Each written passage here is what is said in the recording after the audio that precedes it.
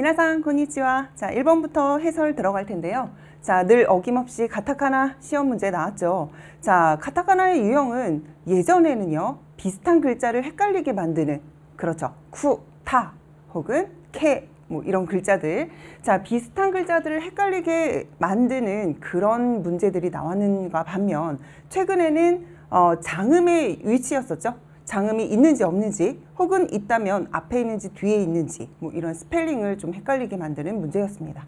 자 가장 최신의 유형은 바로 한국식 발음으로 적은 카타카나 언어들이에요. 가장 대표적인 것이 바로 넥타이죠. 우리는 넥타이, 넥타이 기역 받침 처리를 하기 때문에 넥타이 뭔가 읽어보고 자연스럽다라고 생각할지 모르지만 네크타이가 실은 정, 어, 정확한 어, 스펠링이죠. 따라서 아, 한국식 발음에 뭔가 헷갈려서 어, 나도 모르게 공표해버리는 그런 단어들을 많이 제시하고 있습니다. 자, 첫 번째는 케이크인데요. 케이크가 아니라 케이키라고 해서 자, 자주 등장했던 단어라 쉽게 찾으실 수 있으셨을 테고요. 자, 이번엔 네크타이 그렇죠. 장음 없이 쓰시면 되고 자, 늘 항상 많이 틀리게 되는 커피죠. 한국 사람들은 커피 라고 커피 뒤에까지 여유 있게 장음을 별로 안 해요. 따라서 맨 마지막에 장음이 붙는 사까 가래라는 단어들이 시험에서 자주 등장하게 되는 것입니다.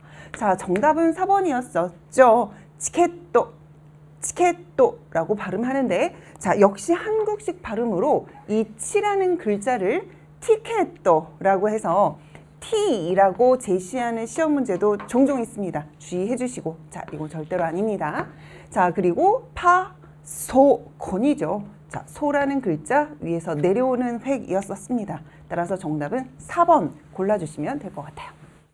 자 2번 넘어갈 텐데요. 밑줄 친 부분의 한자 읽기 입니다. 한자 읽기예요. 자, 일본어를 공부하는 사람들이 선생님 한자는 도대체 몇 개나 외워야 되나요? 어떻게 외워야 되나요? 라고 걱정하시는 분들이 굉장히 많죠. 하지만 자, 다시 한 번 더 강조하지만 한자 쓰기도 아니고 읽기입니다. 따라서 하나의 한자를 여러분들이 한국적 의미로 알고 아, 이게 일사자구나 라고 인지하고 있고 자 이것을 일본어의 히라가나 발음으로 어떻게 읽는지만 알고 계시면 돼요.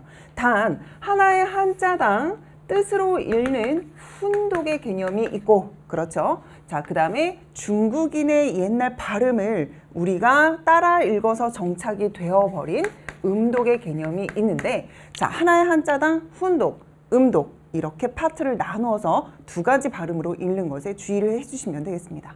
자, 지금 같은 경우 우리 자, 그 사용하다 일사자라고 할 때 사자가 나와 있는데요. 자, 이 단어는 요지 그렇죠. 일 용무라고 할 때는 지라고 읽지만 훈독으로 일 업무 시고또 일이라고 할 때는 코토라는 훈독을 갖게 되거든요. 자, 단 시 다음에 코토가 연달아 나오기 때문에 자, 연탁 현상에 의해서 코토가 고토로 일시적으로 바뀐 형태가 되겠습니다. 자, 해석은 어제는 요지가 있어서 일이 있어서 시고토 어, 야쓴다. 시고토를 일을 쉬었다라는 문장이 되는 것이죠. 자, 밑으로도 넘어가 보도록 할까요?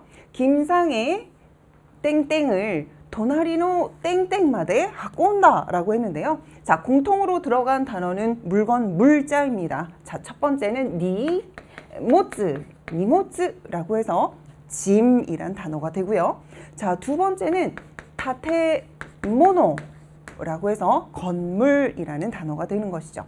자, 이렇게 음독, 그 다음에 훈독 두 가지 어, 발음의 그 버전이 있다라는 것을 반드시 기억을 해주시면 좋을 것 같아요. 자, 세 번째, 아침부터 그아이 역시 훈독입니다.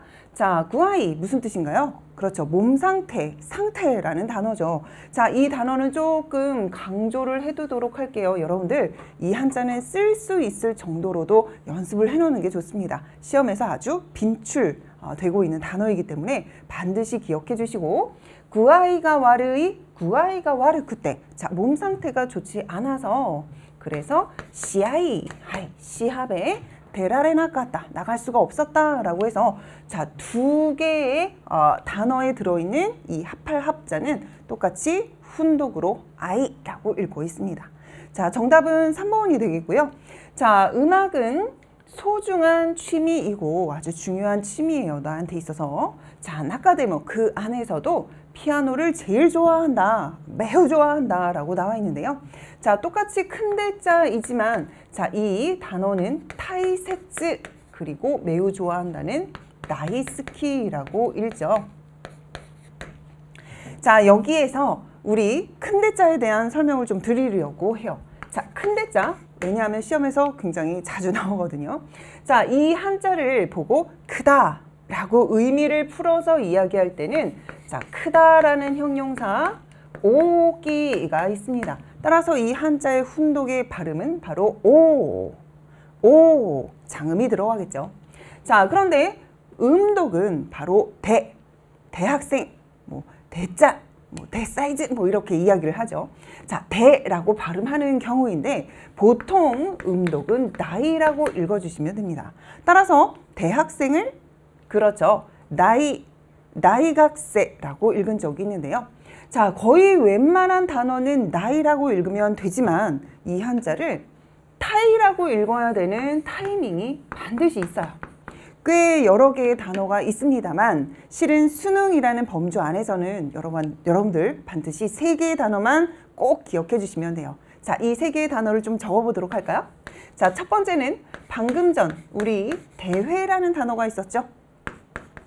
타이까이, 타이까이라고 읽으시면 됩니다.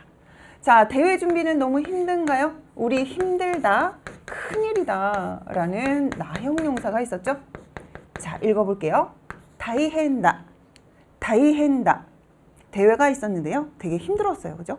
하지만 그 대회는 아주 소중한 추억이었어요. 소중하다, 중요하다, 나형용사. 자, 읽어보도록 할까요? 다이세츠다, 다이세츠다. 자, 이렇게 세 개의 단어만 필수로 알아두시면 큰 대자를 그렇죠. 음독으로 나인지 타인지 헷갈리지 않을 수 있게 되는 것입니다. 자, 요거 반드시 암기해 주실 것 다시 한 번 더 당부 드리면서 자, 5번 마무리 해보도록 할까요? 자, 우찌노 크라스니와 우리 교실에는요. 자, 노래를 잘하는 사람과 못하는 사람이 있습니다. 라고 자, 이야기를 하고 있는데 잘하다는 윗상자의 손수자 그리고 못하다는 아래 하자의 손수자입니다. 자, 조즈라고 읽죠.